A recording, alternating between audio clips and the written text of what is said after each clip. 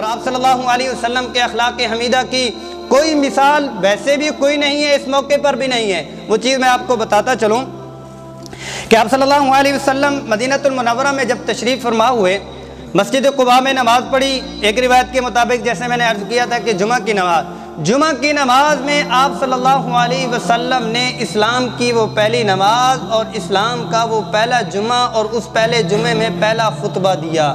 اس خطبے میں آپ صلی اللہ علیہ وسلم پہلا خطبہ ہے اور مکی زندگی کو تصور میں لائیں کہ کس چکی سے اور کس بھٹی سے اور کس ظلم سے اور کس گھاٹی سے گزر کے آ رہی ہیں۔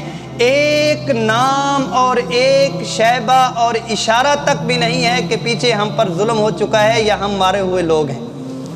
اس پورے خطبے میں ایک بھی نہیں ہے۔ پورے خطبے میں چل سو چل کی دعوت ہے۔ او لوگو، اللہ کو مان لو۔ اللہ کے رسول کی مان لو عمال صالحہ کر لو، اپنی جنت بنا لو، جہنم سے بچ جاؤ۔ پچھلا کوئی تذکرہ نہیں کیا، امت کو اعمال کی طرف لگایا کہ دائیں بائیں کی چیزوں میں نہیں پڑھتے اور اپنے اعمال کی طرف پڑھتے ہیں۔ قرآن عزیز کا مزاج بھی یہی ہے۔ جہاں پہ احکام آتے ہیں، احکام کا سلسلہ چل رہا ہوتا ہے۔ احکام کا سلسلہ چلتے چلتے چلتے اللہ تبارک و تعالیٰ فوراً اعمال کی طرف لے آتے ہیں۔ دنیا کی بے ثباتی اور آخرت کی حقیقت بتاتے ہیں کہ بھائی آپ لوگ دنیا میں رہو۔ دنیا کے کام کاج۔ مزاج اسلام بتا رہا ہوں کہ احکام ہیں، وہ حکم بھی اللہ کا ہے۔ اس کے بعد بھی اللہ پاک ترغیب دیتے ہیں کہ آخرت کو یاد رکھو، موت کو یاد رکھو۔ تو میں اور آپ کیسے جواز دے سکتے ہیں کہ ہم اپنے کاروبار میں ہیں؟ ہم اپنی مصروفیت میں ہیں، ہم اپنی ملازمت میں ہیں۔ ان ملازمت اور مصروفیت میں بھی ہم کو آخرت یاد نہیں، جبکہ اللہ پاک تو اپنے احکام کے ساتھ بھی آخرت کو یاد کروا رہے ہیں۔ اور اللہ پاک نے نماز کا حکم تفصیلی طور پر، اور نماز کی اہمیت اسلام میں ایسے ہے کہ جیسے سر کی جسم میں ہے، اور نماز کس وقت بھی معاف نہیں ہے، نماز کے لیے کیا چھوڑا جا سکتا ہے؟ کہ جب طواف کر رہے ہوں، مسجد حرام کا، مسجد حرام میں جو بیت اللہ ہے، اس کا کیا ثواب ہے؟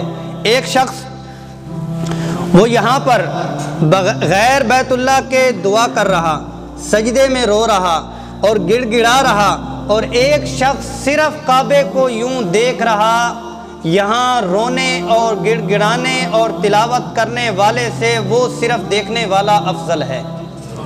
صرف دیکھنے والا افضل ہے جو کعبہ کو دیکھ رہا ہے، دیکھنا مستقل عبادت ہے۔ اللہ اکبر کہا، نماز میں ہوئے، جو ہی نماز میں ہوئے وہ یہ عبادت میں۔ عبادت میں ہوئے تو اللہ کی رحمت برس رہی۔ اللہ کی رحمت برس رہی۔ حدیث شریف میں آتے مسجد میں چلے جاؤ۔ مسجد میں جب آپ گئے تو نماز کی نیت کے لیے بیٹھے ہو، تو عبادت میں بیٹھے ہو۔ جتنی دیر بیٹھے رہو گے، اللہ کی رحمت برستی رہے گی۔ اللہ کی رحمت برستی رہے گی۔ اب یہ ہے کہ اتنا بڑا مقام کے کعبہ ہے اور اس میں سب سے بڑا عمل کیا ہے کہ کعبے کے گرد گھومنا ہے۔ جب نماز کا وقت ہو تو کعبہ کو بھی چھوڑو اور کعبے کے طواف کو بھی چھوڑو، اللہ کو سجدہ کرو۔ اتنی بڑی عبادت کو اس وقت جائز قرار نہیں دیا تو ہماری تجارت اگرچہ عبادت ہے، لیکن ہم اس کو کیسے کہہ سکتے ہیں کہ میں دکان پہ بیٹھا ہوں، میں نماز نہیں پڑھ سکتا؟ میں اپنی جاب اور ملازمت میں ہوں، میں نماز نہیں پڑھ سکتا؟